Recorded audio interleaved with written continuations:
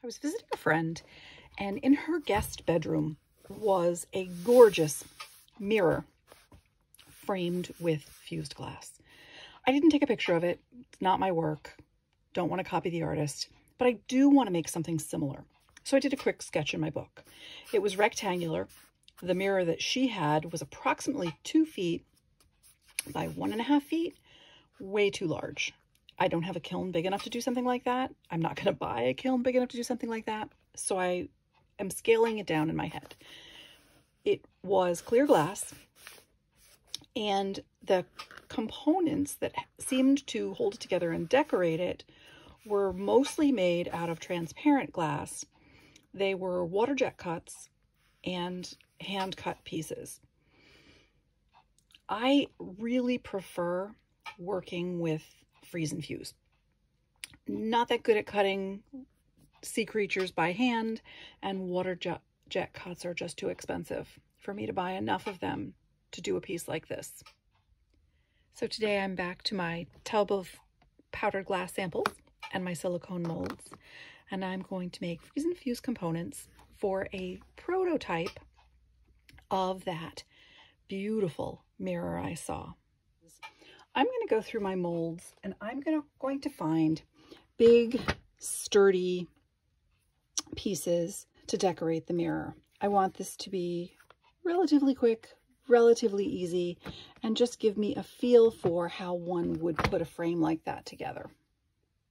So first step is to avoid anything that is extremely frail. This one looks like it might be, but it's not. I've used it before and it actually turns out really well. These are all deep and large enough. They will work well. This, these bits of seaweed, they end up much too frail. I would be fighting with them. The fish are iffy.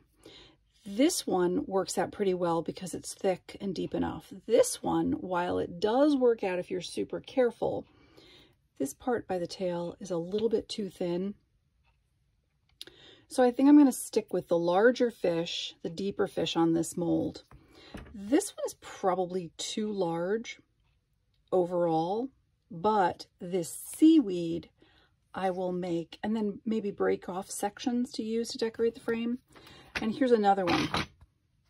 I won't use these big pieces, which are way too large, but the seaweed will work. And maybe the octopus. That might be fun to put on the frame. So that's my first step, deciding which molds I'm going to use and to start getting these ready to go into the freezer. When I do the final piece, the, the mirror frame, which will be much larger, I can use some of these larger pieces, but I don't think this is going to fit on the prototype in order to get it in the smaller kiln, I'm going to make either a 5 by 7 or a 4 by 6 frame. And a lot of these pieces are just going to be too large, even though I think they would work out great. And I may make an octopus just for fun see how it comes out, but I don't know that that's going to fit on the frame. I'm thinking the frame is going to be for a 4 by, 4 by 6 picture and no more than an inch wide possibly an inch and a half, which means the tentacles are going to be hanging over the edge. So I probably won't use that for this piece. I will definitely use this seaweed because I can break off branches, make them work. That one. I don't think I'll deal with this one this time, but I may change my mind because I like that fish. I don't know that I will deal with those this time or I will use those this time. The smaller of these shells will definitely work. Seaweed will work. Smaller sand dollars will definitely work. So I think I will be using these.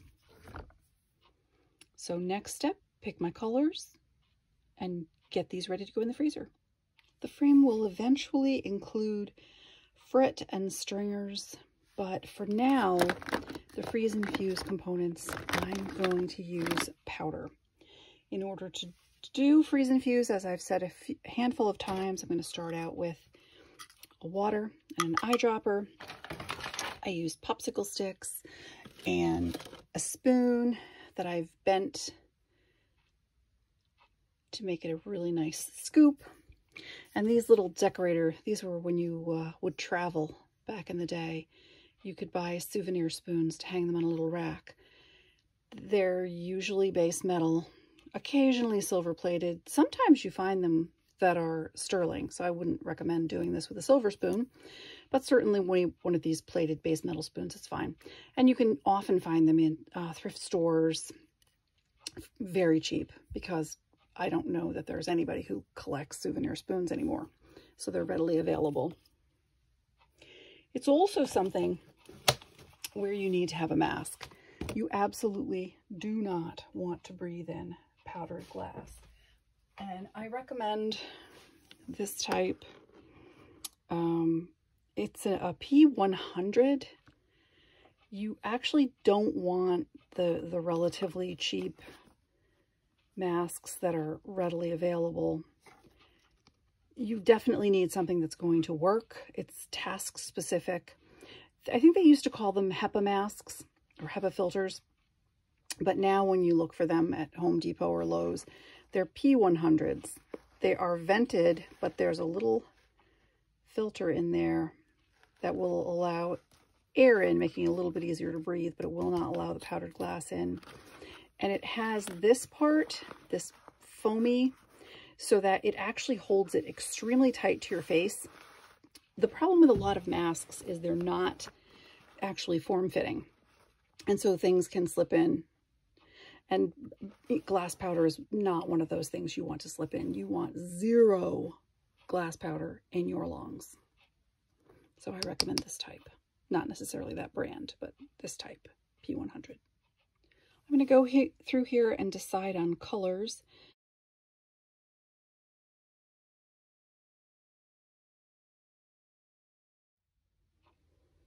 To start, I'm going to be making shells and seaweed. So light bronze, plant transparent.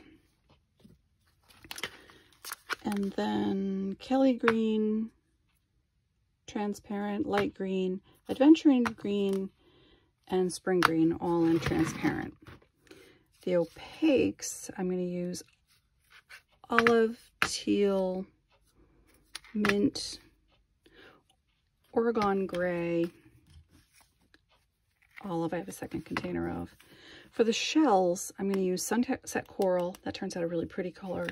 And uh, vanilla, French vanilla.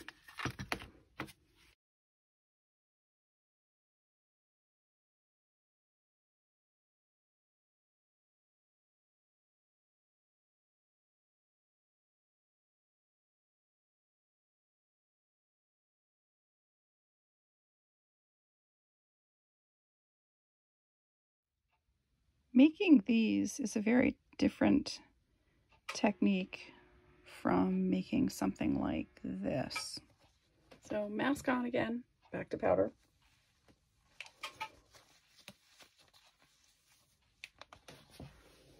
And I'm going to mix up pink, bronze, and vanilla.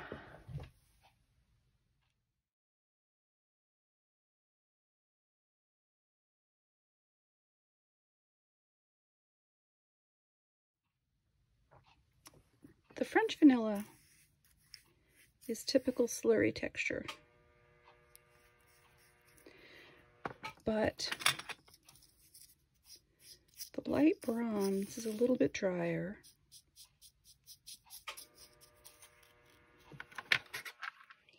And the pink is a little bit drier, but not quite as dry as the bronze. So to do the pink lipped shell, where it's a pretty solid, you're to take your popsicle stick with a slightly drier slurry and work it into that lip, little by little. And you're to pile it not too, too thick, but thick enough. And you want it to go anywhere that you want it to end up a fairly solid pink. And then you're going to go back over it with the French vanilla. So this one I'll just do the lip.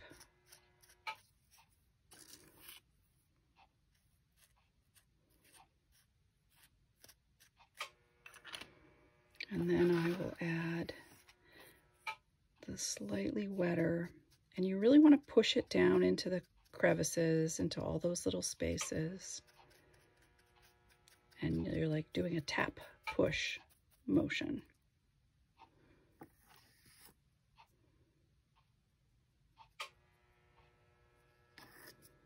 And I often put too much. And then I can scrape some off. And then I'm to tap, tap, tap, tap. Get all the air bubbles out. Use a paper piece of paper toweling. Get the extra moisture out. Have a lot extra, scrape it off. Tap, tap, tap, tap, tap, tap, tap, tap, tap. So that's if you want a really solid, noticeable stripe of a darker color. With these that look much more variegated and much more like natural shells, you don't want to use the popsicle stick. You actually want to use your finger. So I will use this big one because it'll be easier to see. And I do tend to cut my nails pretty short for this. You're going to pick up some of the glass slurry and just rub it into the mold. And then you're going to get the slurry into these little details, but it's not going to cover the whole thing up. So you just work it in there. And depending on how variegated you want your shell to be, you can leave some of the clumps or you can work every single one of them out. So this one, I was much more careful about getting it only into the creases. This one, I let it be a little more clumpy. The shells are all different, and I just want a slightly more natural look to the shells than if they're all one color. And once I've got that, and I can use just the uh, bronze or if I wanted to, I could put a little touch of pink in my shell as well. Same technique, you're gonna grab some on your finger and work it into the spaces. And once you have the pattern that you like, then you go back with the French vanilla and fill in the rest. And you're going to do it carefully because you don't want to knock or, or rub all of that highlighting out. So you're going to do it a little bit carefully when you spread it in. Because I want to keep that layer that's closest to the mold. I want to keep that intact. And then once I've got it full, same thing. Tap, tap, tap, get the air bubbles out.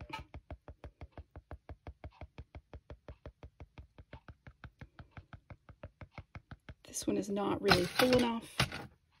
So after I've tapped, get the extra moisture out of it. Put a little more glass slurry in there. And again, tap, tap, tap, tap, tap, tap, tap, tap, tap, get the air bubbles out.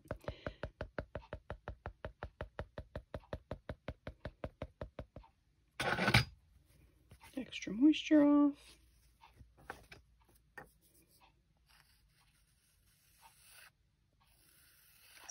the extra slurry. And these are ready for the freezer.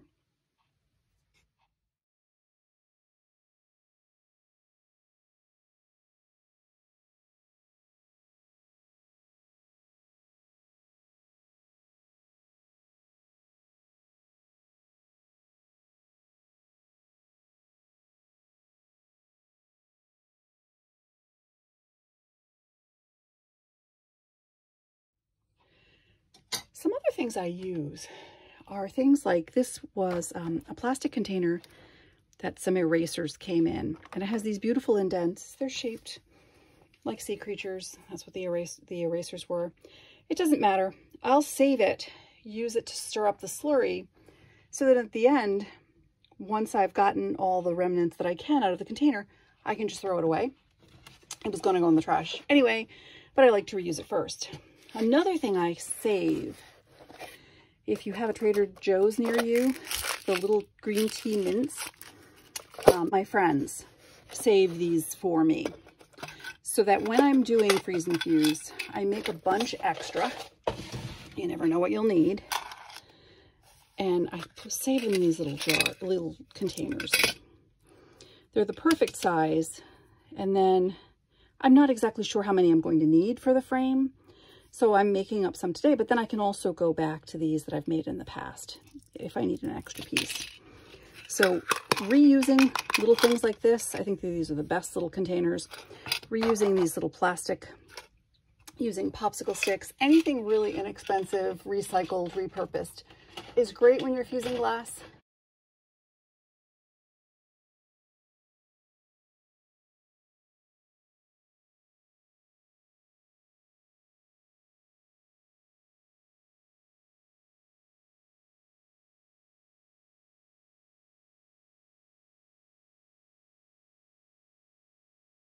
But I save, if it doesn't come out, I save all the little broken pieces because you just never know where you're going to need a little touch. Um, have a couple more shells I did. So I make quite a few extra, all different colors, all different shades. I've done them in transparent and in opaque. A couple of the fish. And as I said, it's a little bit tedious. You have to mix up the slurry the right way. Make sure you fill them properly. If you end up with an air bubble and don't mash it up and redo it, the air bubble will not heal. You can see there's a low spot in this one. There's a little divot. And that's because there was an air bubble and it was one of my early attempts. And I was hoping that going in the kiln would just fix it. It doesn't. If you pull it out of the freezer, and you see this when the tail popped off. If you pull it out of the freezer and unmold it and you realize that there's an air bubble in it, your best bet, let it dry, put the powder back in a container, mix it back up and try it again. Frustrating, but there's really no other way. There's really no, no other way to fix it. Now, I have on a, a few of them, here I have a couple fish, where if the tail broke off, I have tried to go back and reattach it while I'm firing the piece.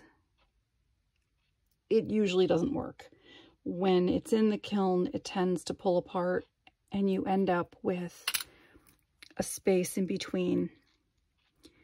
But what you can do is if you're using stringers for seaweed, you can lay the stringer, glue it together and lay the stringer over it. And so when the stringer melts on top of the fish, you won't notice the tail is broken. So if I do get it to that point, I will save those as well. It is tedious there are a lot of steps, but you're not going to be able to cut anything out of glass that looks like this. And water jet cuts, which are the closest you're going to get to the outline, are very large. I've never seen anyone do water jets that are this tiny and this delicate. So really, if you want these little components, this is the way to do it. And this, now that I've done a whole bunch, there's not really enough glass in there to reclaim. And this whole container that I no longer need can go right in the trash, along with the popsicle sticks that have been contaminated with powder. So these are out of the freezer, and the very large pieces of seaweed all broke apart. I'll still be able to use them just fine. The shells came out fine but the seaweed did not. I'm waiting for the freeze and fuse components. I'm going to start working on the, the frame. And I think I'm going to stick with one inch pieces.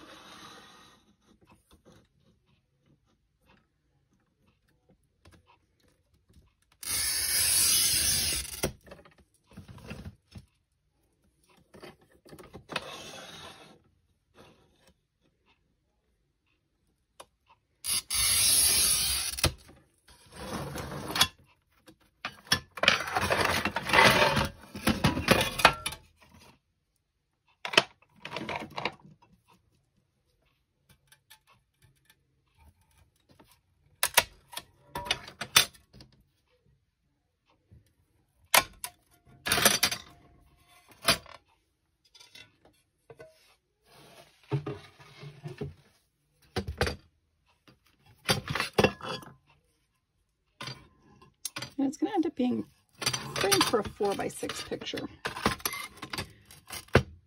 I'm going to make it 5 by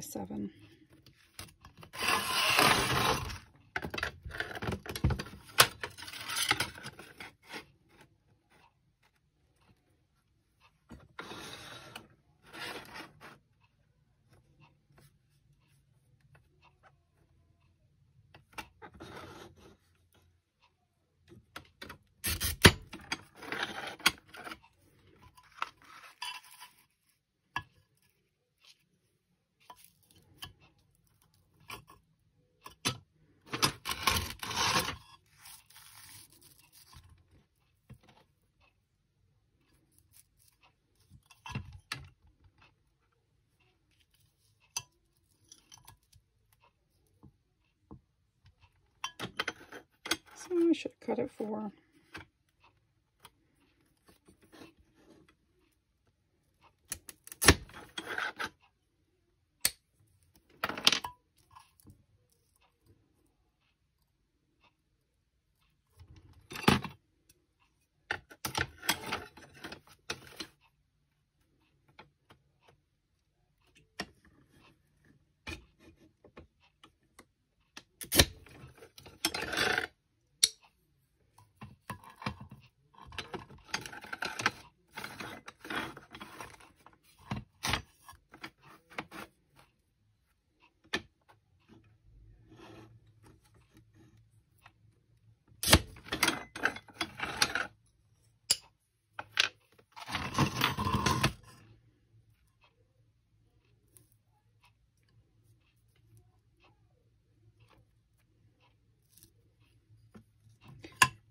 Yeah, I will have to get a wider piece of papyrus.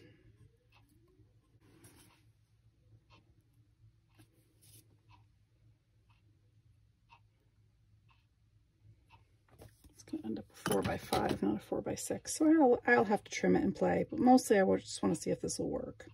I want to see if putting the freeze and fuse components and the seaweed on the frame will be enough to hold it together so I don't have to do two layers.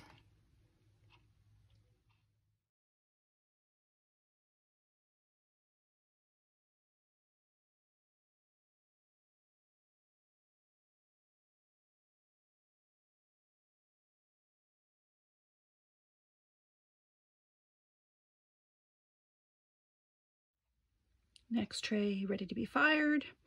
Octopus did not survive. I think with very large pieces, you have to do the freeze and fuse one at a time. Manipulating the mold to get the smaller pieces out was too much for that large piece. So we'll re-wet it and give them a second try. I didn't take it out. I'm just adding more water, waiting for it to thaw, and then tap, tap, tap, just to get everything to settle again before popping it back in the freezer.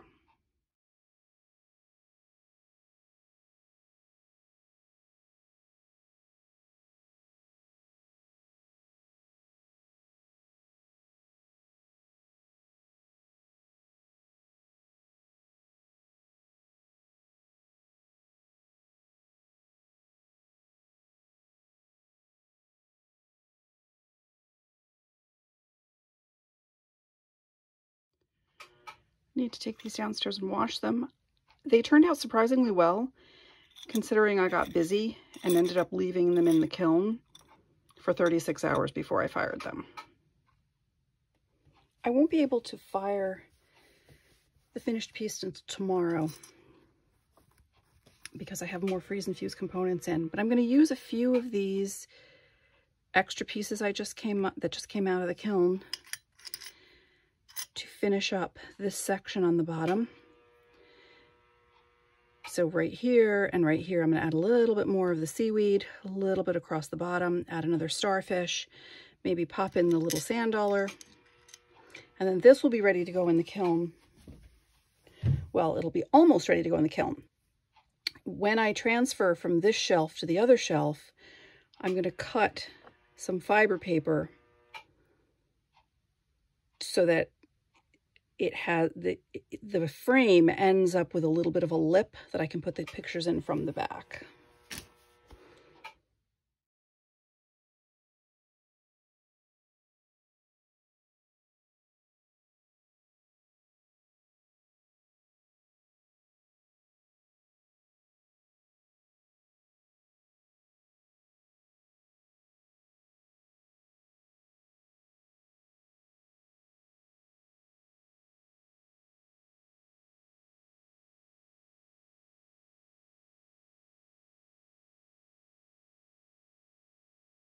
I have to wait for the freeze and fuse pieces to finish. So I'm going to prep the kiln shelf for this frame. And so carefully, hopefully without, whoops, that didn't work at all. I was going to carefully, without breaking it, try to move this off this shelf. So I'm going to try to slide it off, reconstruct. I need this shelf to have a papyrus sheet on it. That way I don't end up with any texture in the frame. Come on, frame. Be cooperative.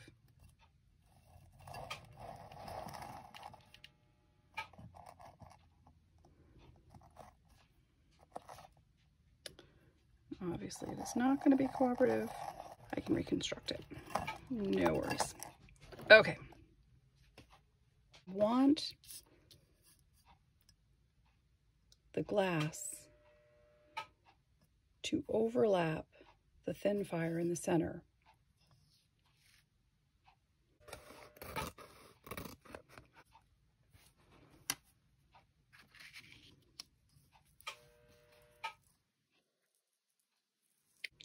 I think my prototype is actually going to be more difficult than the actual frame will be.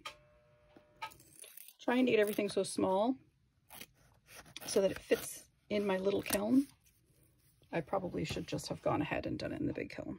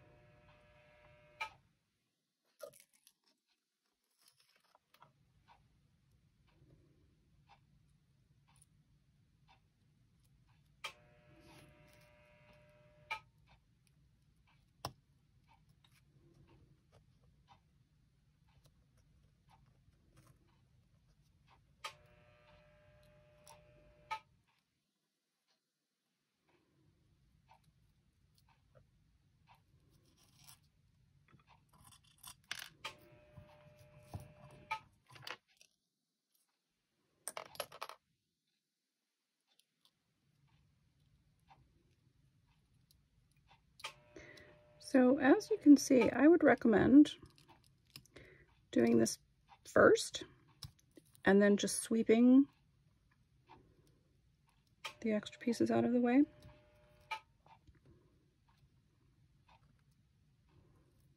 Because gluing it down didn't really work all that well. Now I could have used the hairspray trick, probably should have used the hairspray trick where once you've got all the frit in place, you spritz it with cheap hairspray. But I have discovered with the current economy, cheap hairspray is no longer cheap. And the dollar store hairspray that I thought I was going to buy ended up costing more than the GlasTac because my dollar store is no longer a dollar store. That's still the name, but the hairspray was $7 a bottle. So we can see that the it overlaps. So I'm going to have a nice slot in there for the picture. It does not look straight, but I'm getting to the point where this prototype may end up in the trash. So let me put all the pieces that fell off back on and finish getting this ready for the kiln.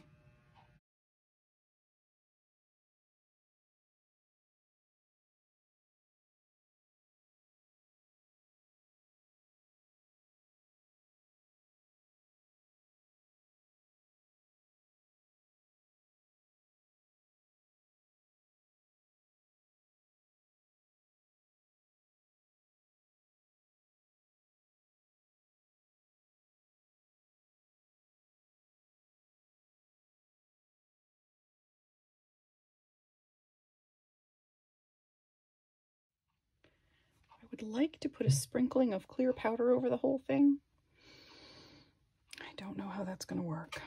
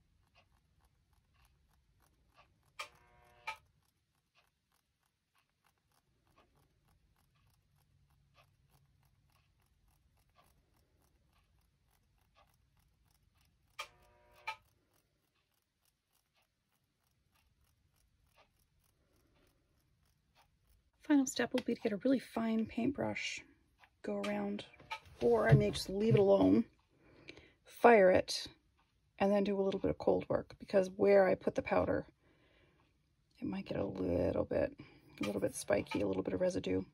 But I like to put clear powder because it seems to smooth everything out when I have all these tiny little pieces. My frame template is in the kiln and I think the difficulties are going to be with the corners because I didn't assemble it correctly. And then when I put it back together, things didn't butt up properly. It's just a sample, so I'm not that worried about it. I may have to double the frame to get it to work and offset the joints. Certainly for the larger mirror, I'm going to have to double it. This will not be strong enough to support a larger mirror. But it's just a try. So let's pop it in the kiln and I'll show you what it looks like tomorrow. Overall, I love it. I'm still not 100% sure whether I have to do two layers. It does seem pretty substantial, but it's small. It's picture frame size. I may do another sample where I just fire a frame. We'll see. The areas that I thought would be a problem were up at the top corner. No, I'll just leave it down. Up at the top corner, because I shifted it so many times, the joint is very clear. It's closed, but it's just really clear, and there's a little space up there where it didn't close properly the fish with the broken tail, laying the seaweed over it, hides the fact that it was broken. But the other fish, which I put on in one piece, separated. So I'm thinking this is probably going to go back in the kiln. I'm going to put a little more seaweed, cover that tail, put a little more frit. The bottom areas where there's a lot of freeze and fuse components, came together beautifully and you can't tell where the joint is. Because I put the powder on, the way I did it, you have a couple areas where I didn't wipe it off enough, so I'll just do a little quick sanding there. The channel on the back worked out great, except for the fact that I put it on crooked. So you can see there's a little section right there the, the channel worked out great. I just need to be a little bit more careful about my assembly.